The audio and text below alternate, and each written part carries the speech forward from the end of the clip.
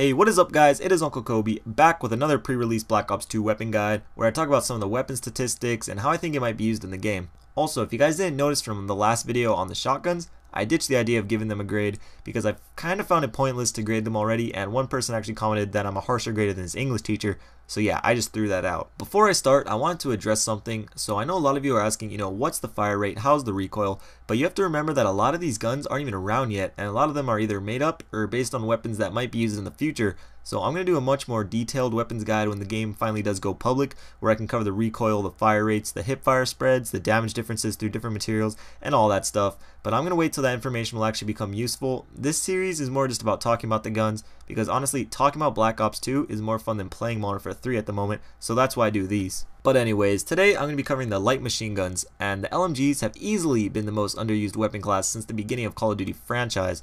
The game will always be saturated with assault rifles and SMGs and the occasional optic wannabes, but how often do you see guys running around with an LMG? You know, it really is few and far between, and I don't really think that's going to change with Black Ops 2, but I still want to talk about these bad boys anyway, so let's do it. So starting off, we got the MK48 with increased damage and range, and it boasts the best stats out of all the LMGs with the 12 point mobility, which will stay constant throughout, and 15s across damage, range, and accuracy but I didn't really like the MK46 in Modern Warfare 3, and I don't think I'm going to like this gun either.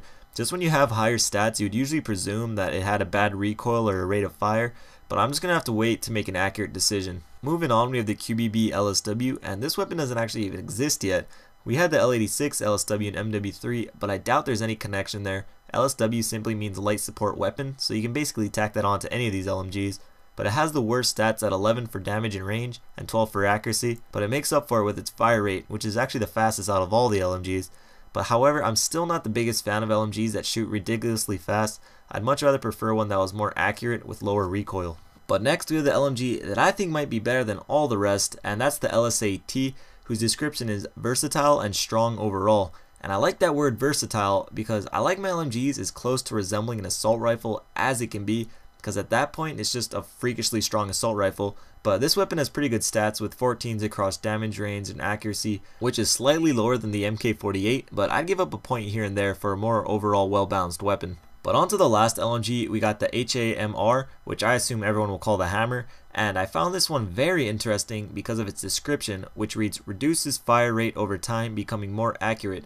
So I'm guessing at first squeeze of the trigger, bullets will just be pouring out constantly, uh, which will be very effective against people rushing at you close quarters. But as you try to pick off people long range, the fire rate goes down and your shot will become more accurate so you can land more shots on your target.